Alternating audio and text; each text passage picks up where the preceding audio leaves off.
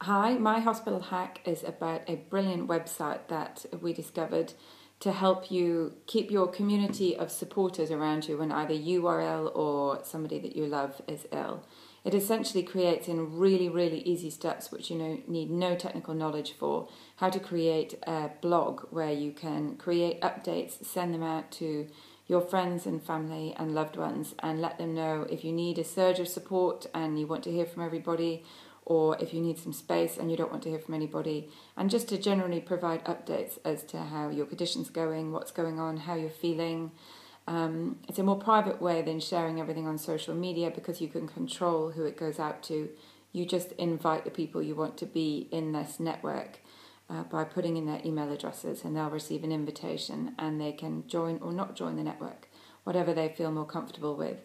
But I think it's a great idea because often when you or a loved one is very ill, it's a time when you need people the most, but it's also a time when people tend to keep their distance because they're worried they'll say something wrong or that they'll ask an awkward question that you're not comfortable with or that they just feel they're encroaching on your time because there will be other people who are closer to you that you might want to turn to more often.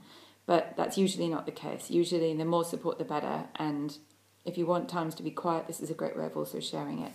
So the website is www.carepages.com, C A R E P A G E S.com.